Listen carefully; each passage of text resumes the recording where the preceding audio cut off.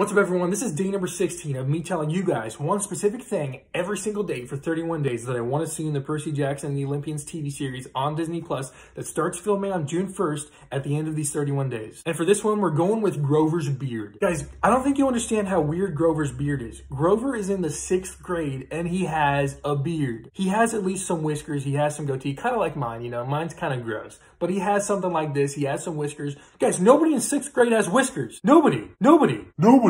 Grover only has them because he's like 28 years old in satyr years because he's half goat. Guys, I just want to see a 12 year old with a beard. If we see this guy with a beard in the TV series, that's going to be amazing. As for how likely I think this is going to be in the series, I think this is 100%. I think they're going to put this in the TV series because they need to show that Grover is a satyr and they need to show that Percy was totally oblivious to it because obviously satyrs don't exist. They don't exist. But I think this is going to be in the TV series. I think they have to put this in 100%. Go let me know down in the comments if you agree with me on this, if you think it's 100% going to be in the series, and let me know some other stuff that you want to see in the Percy Jackson series. And be sure to come back tomorrow for day number 17.